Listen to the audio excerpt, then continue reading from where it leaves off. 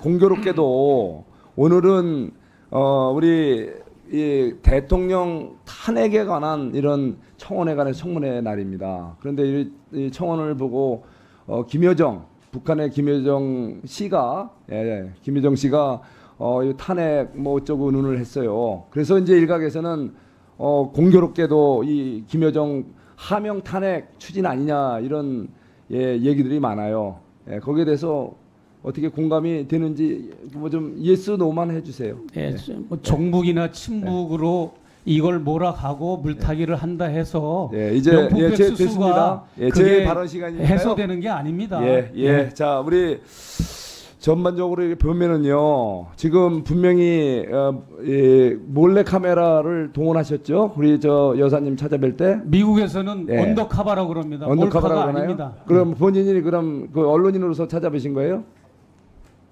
언론인으로?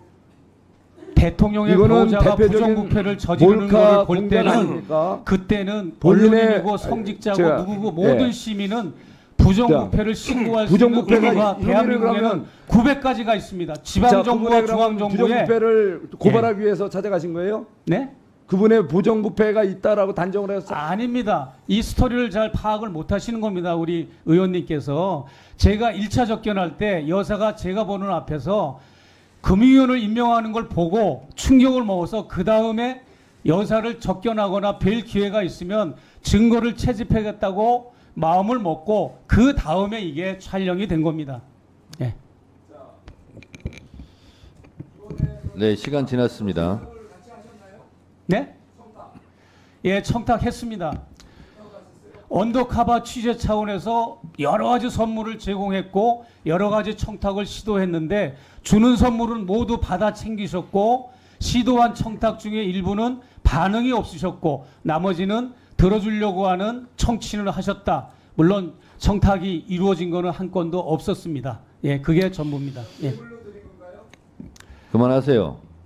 시간 지났잖아요. 발언을 중지합니다. 발언을 중지합니다.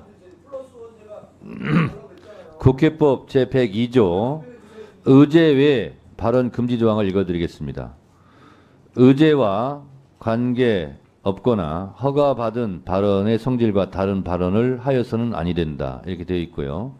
지금 발언 중에 김여정 하명성 청문회 이렇게 얘기했는데 이 법제사법위원회를 모욕하지 마세요. 무슨 근거로 그런 얘기합니까?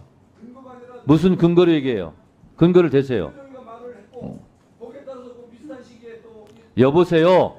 이게 먼저 시작된 겁니다. 이게 먼저 시작됐어요. 곽규택 또 나섰네요. 장경태 의원님 질의하세요.